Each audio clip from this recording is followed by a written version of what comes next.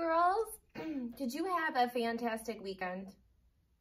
I know I did, but I was so excited to get back here and see you again.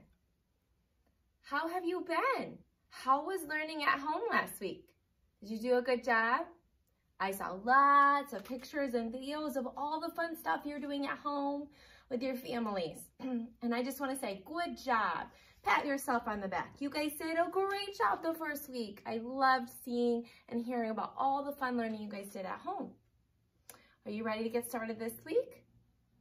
I know I am. Hey, let's get started with our prayer before we forget, okay? In the name of the Father, and of the Son, and of the Holy Spirit, amen. Dear God, we offer you our day with all our work and all our play.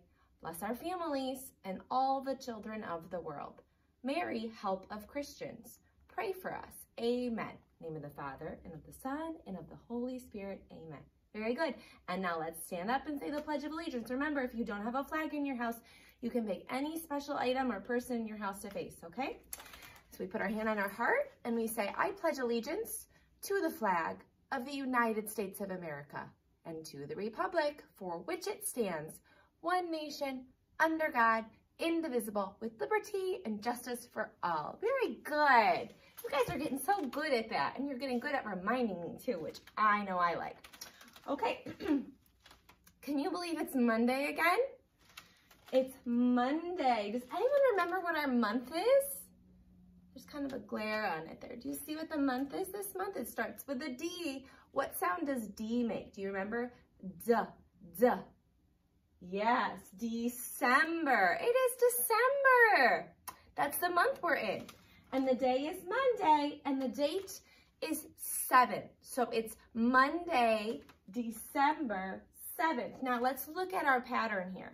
I might move you a little bit closer so you can see. Let's see. Zoom in. Zoop. Okay. All right, we had the, the gifts from the three kings. We had the sheep. We had the angel. And then on Friday when we weren't here, I'll show you. It's Mother Mary and Joseph and baby Jesus. Okay, so that is our pattern so far.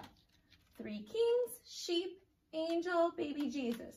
Three kings, sheep, and today it's a Angel, very good. It's Angel today.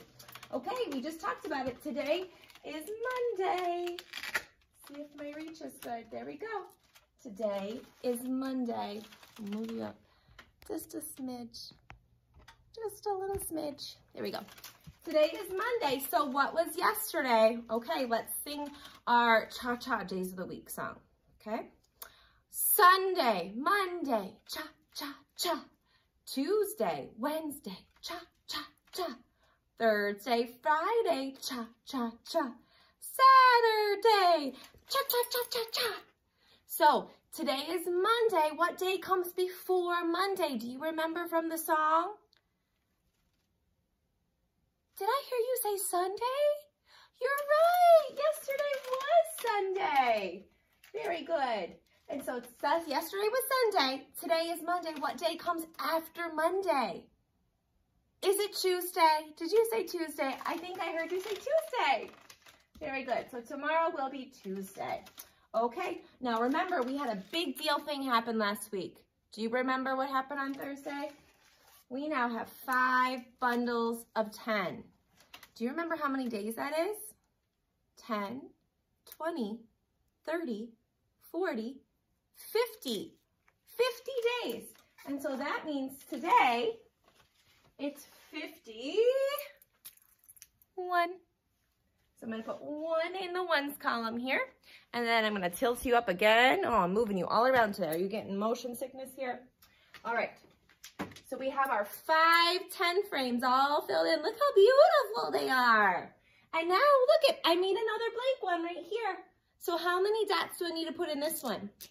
We had 50, how many days? 51. So I'm going to put one dot in our new 10 frame. So this shows us that we have five groups of 10 and then one group with just one in it. Now, here's a hard question for you.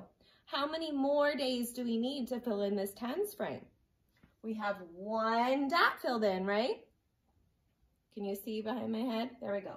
So let's count. How many more do we need to get to 10? One, two, three, four, five, six, seven, eight, nine.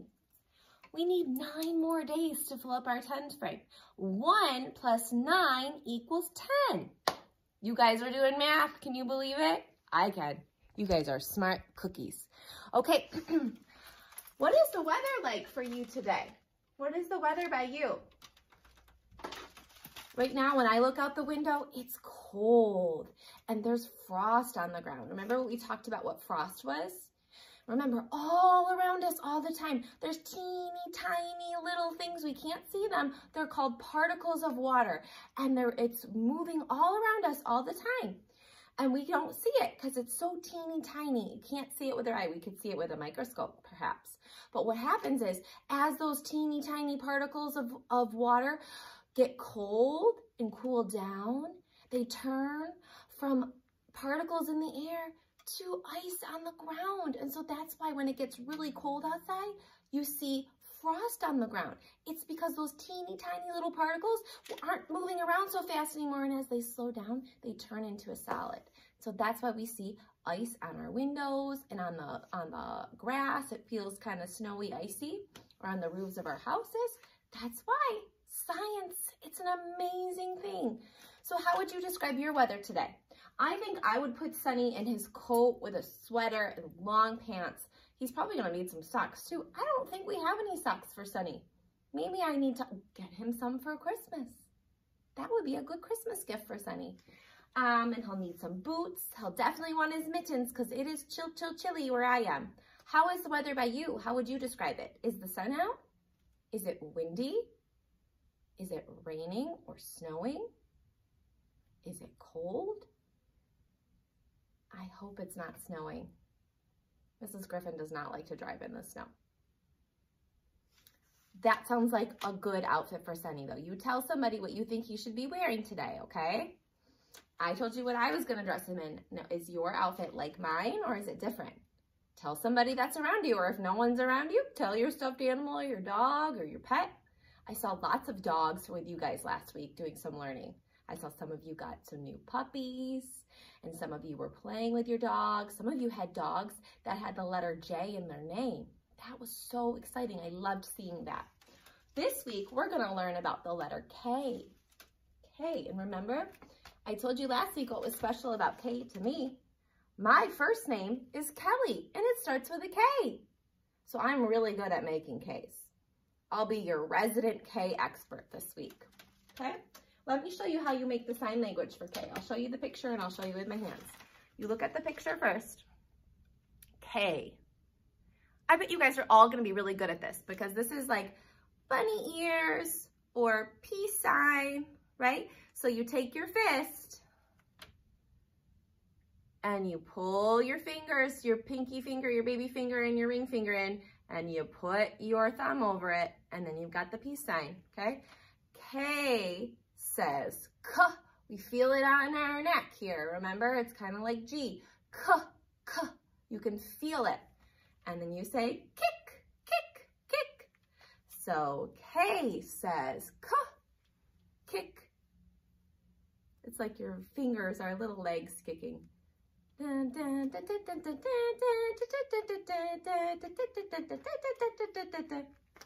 It's kind of like J was J says j, jump, right?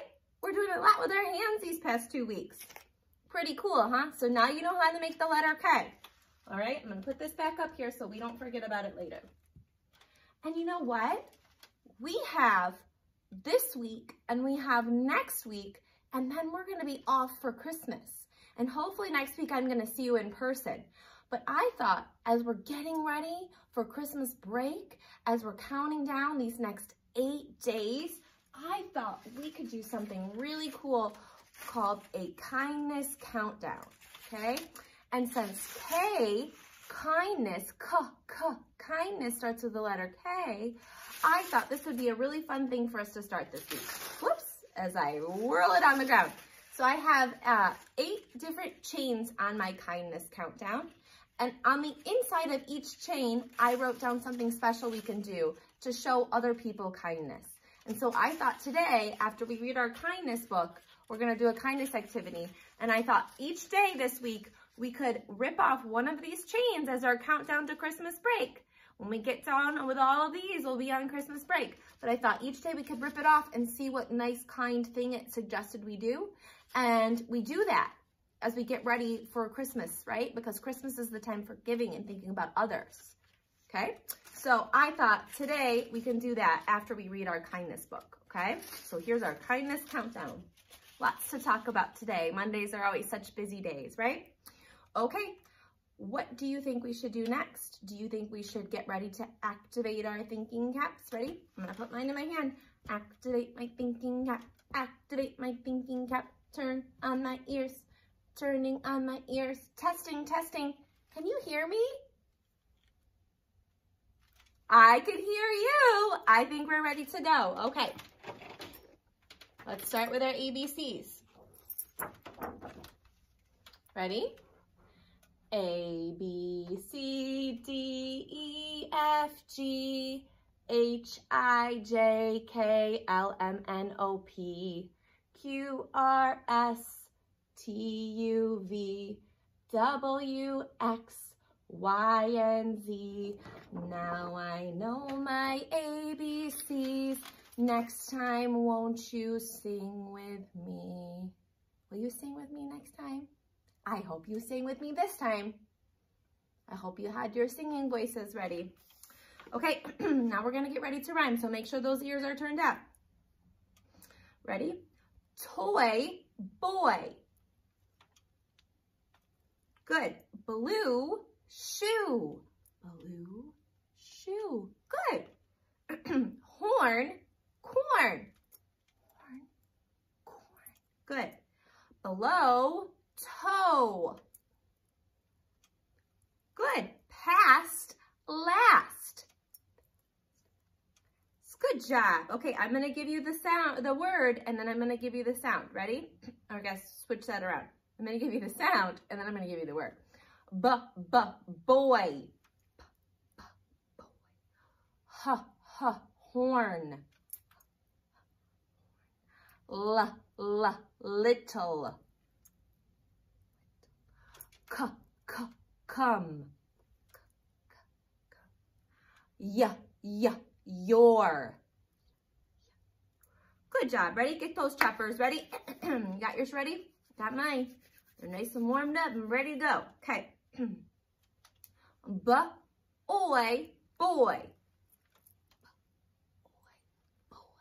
Good. G, eight, gate. Good. D, eep, deep. D, eep, deep. Yes. C, up, cup. For you. Huh, orn, horn. Yes, good job. Okay, this one's a little different, so listen. I'm to say the word, and then when I say the last sound in the word, I'm to shoot my arm up in the air. And I want you to do the same motion. So I'm to give you an example first. Ready? Horn. Okay, so you're to repeat after me just like we do. Come. Good. Fruit. Fruit. Good. Us. Us. Good. And sheep. Sheep. That one's kind of fun. I'm losing my voice. That one was kind of fun, wasn't it? Okay, ready for the next thing? All right, I'm gonna give you a word part and then I'm gonna add a sound to the beginning and I want you to help tell me what that new word is. Ready? The word part is add. Can you say that? Add. Add. Look what my mouth does. Add. Okay, ready? S add. What word is it? Sad. Good. Ready? M add. Mad, yes. D add. Dad. Hi, Dad. B add. Bad. Oh, I hope we're not being bad, right? P add. pad. Good job. You guys did great with that. Okay, now I'm going to give you a word and I'm going to take out the beginning sound and you're going to tell me what that word part is, okay? So the word is hip without the h sound. Hip without h. Ip, yes. How about sip without s? Ip, yes. How about tip without t? Ip, very good. How about lip without l? Ip, yes. And how about dip without d? Just ip, you got it. Okay, are you ready for the rhyme? I wonder if you know this one. It's about a little boy and he's blue. Can you see it? There we go. So we're just gonna do the first line, ready? Little boy blue, come blow your horn. Can you say that with me? Little boy blue, come blow your horn. I wonder why he's blowing his horn. I wonder what he needs to be doing. I guess we'll find out about Little Boy Blue later this week. Okay, that's it for now. I'm going to meet you back here in a little bit for some story time and some crafting. Are you ready for that? Does that sound good? Okay, I'll see you here in a little bit.